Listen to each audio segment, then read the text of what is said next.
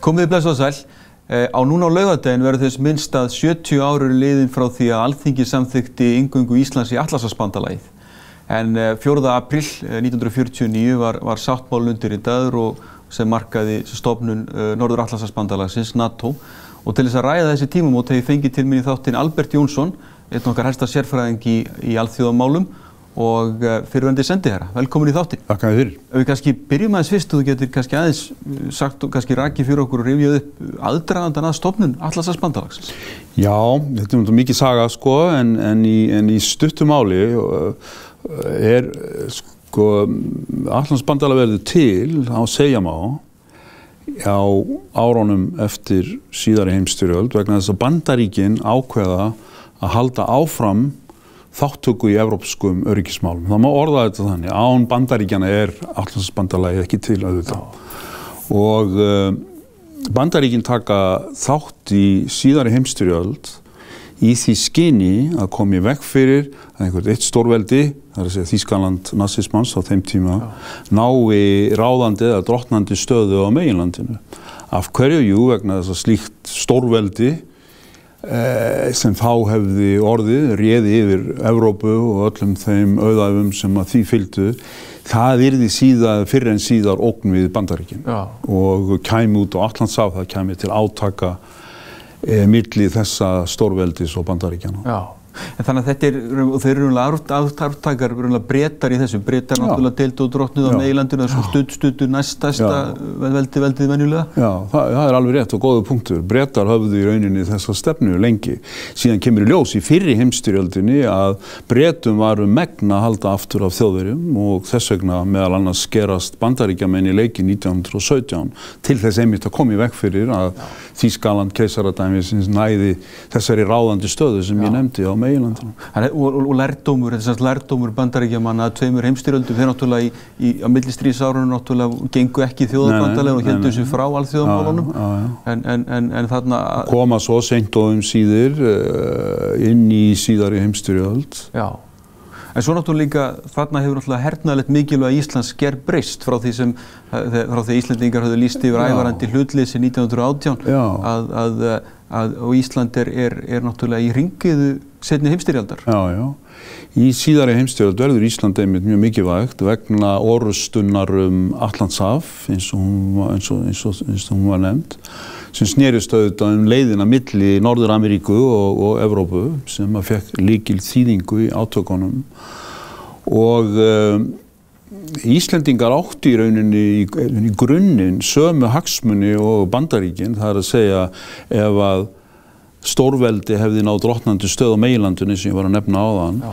að þá hefði það eitt til átaka við bandaríkinn og þau hefði átt sér stað fyrst á Allandshafi og þau hefði orðið átök um Ísland þannig að, að, að Íslendingar hafa nákvæmlega að sömu hagsmunni og bandaríkinn þó öðrum formerkjum og, og einmitt þegar að á árunum eftir stríð þá taka bandaríkinn sína ákvörðun um að stopna NATO eh, vegna þessara sömu hagsmuna og ég hygg að þeir sem komi hér að mótun uh, utanríkis og öryggismála stefnunum og þeim árum hafi hort til þessarar sögulegu reynslu svo auðvitað til þess sem var að gerast í Evrópu með uppgangi Sovjetríkjana og uh, undiröðri kommunisma í, í uh, mið- og austur-európríkjum sem leytið til þess að Sovjetríki náðu þar undirtökum og svo höfðu menn auðvitað hugmyndafræðilega kvata til að vera Já. með í allansasbandalæginu, ger ég ráð fyrir, vildu vera með vestrænum ríkjum. En nú er þetta uh, kannski lengsta fríðarskeið sem við höfum upplifað í Evróp. Þetta er hvað fríðarskeið núna er um 70 ár. Að hver mjög leiti getur við þakka það Allarsasbandalæginu og þessari varnasamfunnu samfunnu vest, vestræðna þjóða? Já, í kaldastríðinu uh, skipti uh, eða sem sagt samstafa, þetta skiptir miklu máli í átökum eins og þeim sem voru í kaldastríðinu sérstaklega gegn jafn stórum og voldugum andstæðingi sem Sovjeturíkin voru og stopnun NATO og það að það tókst að halda bandalæginu gangandi allan þennan tíma, ég meina um 40 ár í kaldastriðinu uh, hafði auðvitað áhrif á þróun mála og hver niðurstaða var sem að meina, kaldastriði breytist ekki í heitt stríð og andstæðingurinn, andstæðingurinn hvarf. En og enn og aftur bandaríkin, NATO er ekki dán þeirra, það er bara þannig og uh, fóristu hlutverk bandaríkjana skipta alveg feikilega miklu máli sem að vita í krafti þess hvað þau voru og eru enn mikið efnahagslegt og hernaðilegt uh, stórveldi Já. Og um, þetta auðvitað uh, lagðist saman um það að, að, að Sigur vannst gegn Sovjetríkjónum í, í kaldastriðinu og uh, Þannig að NATO er mikið svona success story og, og nú er það enn í gangi en en svona ákveðin, ákveðin atriði hjá bandalæðinu sem menn þurfa að taka á ef að, að tryggja framtíð þess að mínum handi.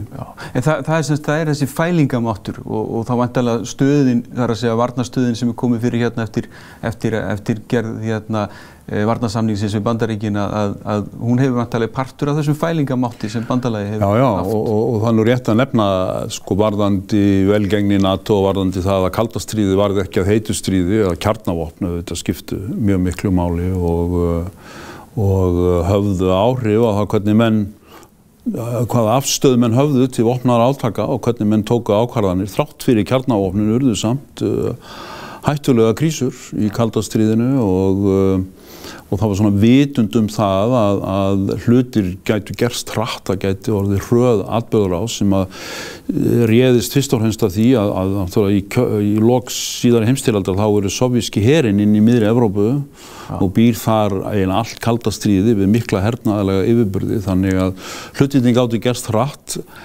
na, gegn hagsmunum NATO og Ísland er með tengist þessu mjög náið að fyrir stefnu NATO, fyrir fælingarstefnuna gegn Sovjetríkjónum, hún var náttúrulega aðalatrið, að mér ætluði ekki átök, heldur ætluði að menna komast hjá því að lendi í átökum, til þess að hún er því trúverðu, þá var það að vera trúverðugt að öryggi leiðarinnar yfir hafið er því tryggt. Já, já.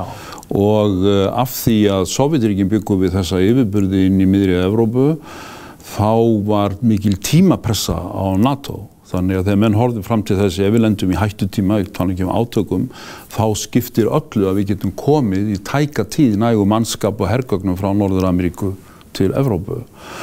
Þannig að þetta var líkil atriði í fælingastefnu NATO gegn Sovjetríkjónum og líkil atriði í að gera hana trúverðuða. Og Ísland hafði mikla þýðingu varðandi öryggi siglingarleiðana og líka loftflutninga yfir Allandshaf. Þannig að Ísland skipti mjög miklu máli í, í kaldastriðinu að þessu leiti. En, en, en hvert var megin hlutverk varnarleysins hérna? Það er að segja, nú alltaf voru, voru, voru Sovjetmenn hérna allt í kring og, og með, með kafbóta. Hvert og hvert á megin hlutverk? Eh, þessi herafla sem hér var? Uh, já, svona, næstum stóðu auðvitað varni landsins og þeir voru með allan, allan um, búna til þess hér, bæði til að tryggja loftvarnir og varnir öðru leiti og áallanir í bandaríkjónum um liðsauka ef áþurft að halda meðan til að tryggja varnir Íslands og mannvirkja hér og, og staða á landinu. Nú síðan skiptir þetta miklu máli fyrir loftvarnir Norður Ameríku uh, flugherr bandaríkjana á Íslandi og reyndar var það mikil umferð sovjerskar herrflugvila í nákvæmni við Ísland að það var hvergi í veröldinni sem bandaríski flugherrin flög í vekk fyrir jafnmargar uh, herrflugvilar, sovjerskar eins og hérna. Oft á dag eða hvernig? Ég maður veit hann ekki hvort það var oft á dag en það var, ég er nú reyfið upp, uh, ég skrifaði hann eitthvað tíma um þetta, þetta voru um 200 skipti á árið þegar það mest var. Já, já, já og uh, síðan auðvitað tengdist Ísland mjög náið uh, því sem ég nefndi á það sem eru öryggi leiðarinnar yfir hafið.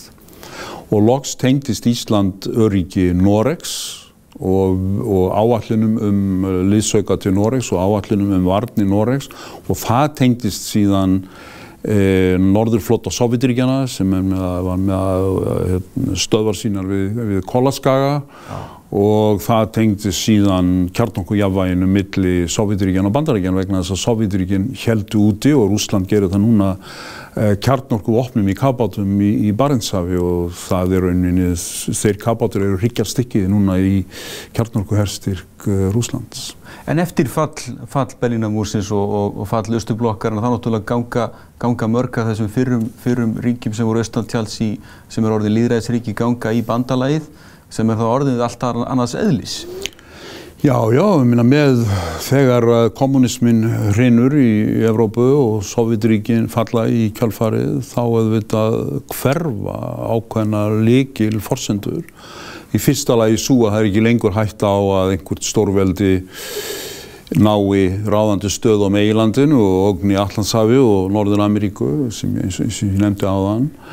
Í öðru lagi er alveg ljóst að Rúsland er ekki og verður ekki minn einu móti arftæki Sovjetiríkjana og Rúsland verður aldrei í neittni fyrirsjálegri framtíð í því hlutverki sem Þískaland nazismans var og, og Sovjetiríkin að geta eh, að búa til það hættu á þessu möguleika að ná drottnandi stöðu á, á meginlandinu og í þrýðja lagi, ef við horfum til Allandshafsins og nær okkur, þá er rúsneski norðurflótin, hann er miklu, miklu minni heldur en svo sovjíski var og hefur mjög litla burði til að aðtapna sig á, á úthafinu. Og, og náttúrulega efnaðarslega líka, þeir eru náttúrulega Rúss... nignað mikið. Já, Rúsland er svona, kalla stundum ekki svæðispundið stórveldi. Já og uh, hefa horfið fyrst og fremst til nærsvæða sinna, áhrifasvæði sinn sem nær til fyrir um Sovjetlíðvelda, að mínum að þetta ekki til reyndar Íslandsríkjana en, en annara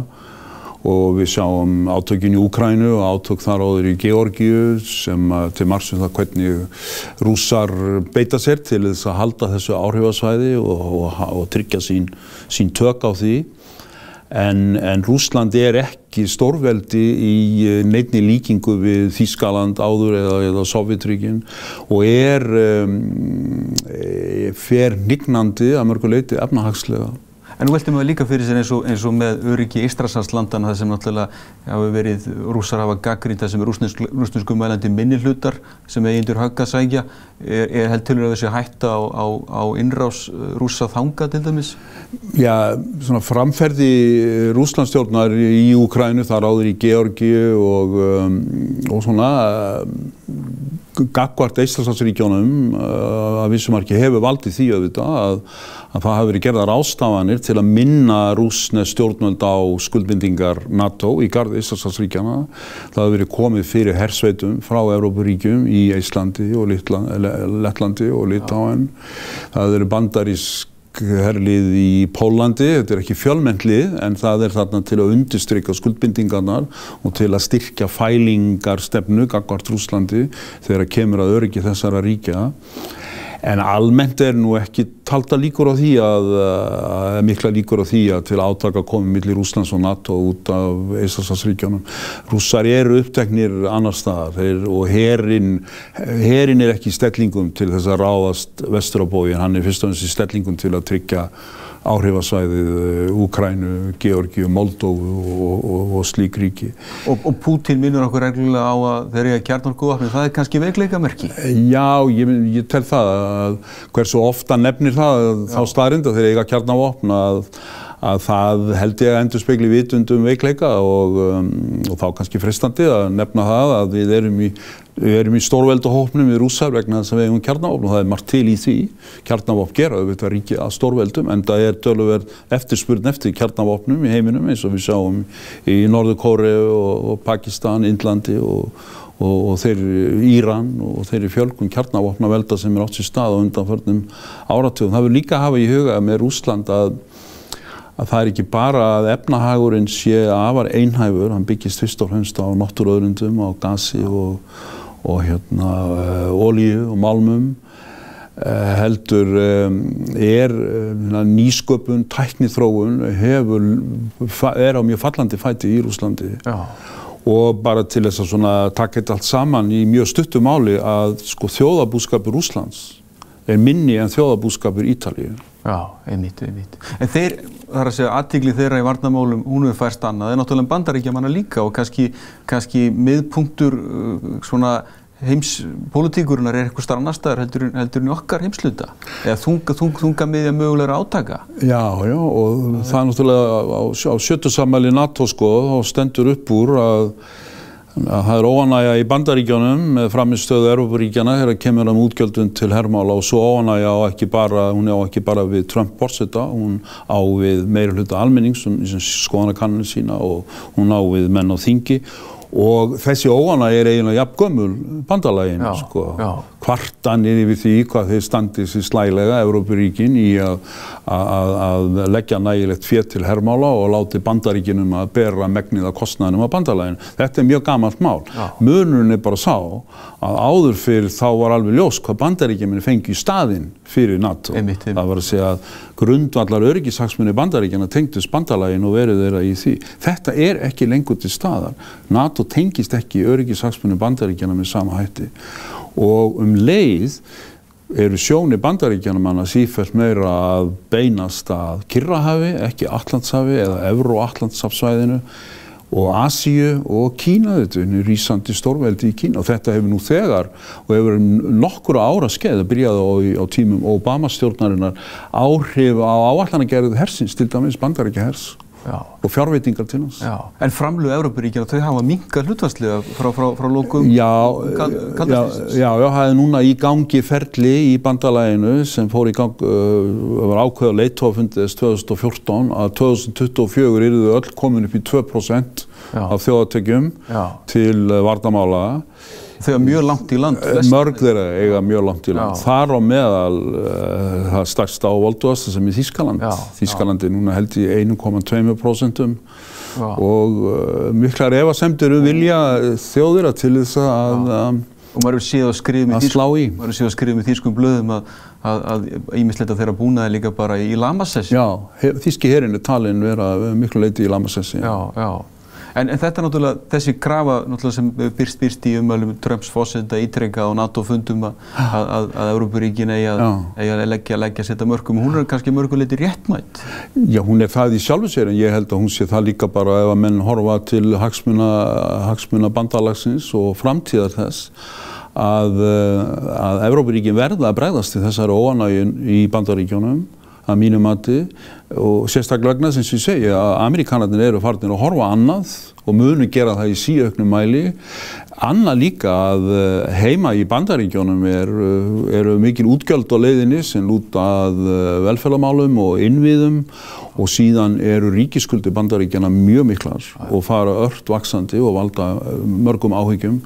Þannig allt þetta aðstæður eru allt aðrar og Evrópuríkin þurfa að bregðast við þessa mínu mati ef, ef, ef öðrum kosti er eh, framtíð bandalagsins minnstu kosti óviss. En er almenningur nógu upplýstur um þetta? Þegar nú kannski, nú kannski hérna eins og, eins og hvernig, eins og, eins og miðlar í Európu kannski tala, tala, tala mikið jafnvel um, um, um bandarækjamenn sem óg sko, en, kannski, kannski, eh, maður, þú, þú, þú nú vísaði ykkur á skoðanakanna til dæmis í Þískalandi á, á Já, já, það sína, sína kannan í Þýskalandi að, að, að það er ekki, ef ég mann tölunar eða um 40% sem telja að stand við óg frá Rúslandi en, en held að sé 60% sem hafa verulegar áhyggjur á Trump bandarækja fórseta og stefnu stjórnar hans, þannig að en, en, en aðalatrið er það að að Európaríkin þurfa að taka sig á og, og einn spurningi sem vaknar á þetta ef þið gera það ekki er hver er þá ógnin ef þið hafðu ekki meiri áhyggjur en þetta þannig að, að ég held að pressan á Európaríkin muni aukast verulega og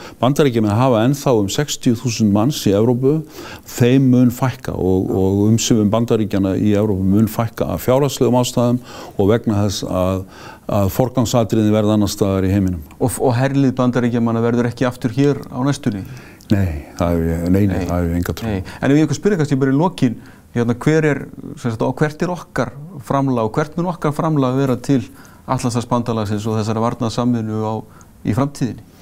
Já, við erum ennþá í, svona, í grunninn í svipuðu hlutverkið áður. Ísland skiptir áfram máli fyrir leiðina yfir hafið, fyrir flutninga og öryggi hennar í miklu almennari skilningi kannski en áður. En, en, en þetta er ennþá varanlegir hagsmunir NATO-ríkjana, Allandshafið og öryggi á Allandshafi.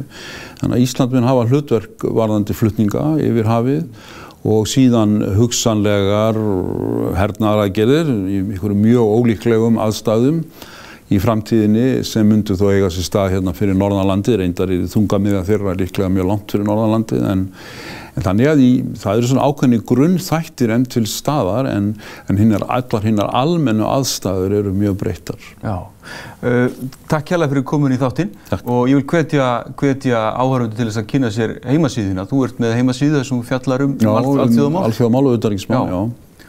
og, og endilega lítið líti á þá síðu. Takk hjálpa fyrir komin í þáttinn. Takk.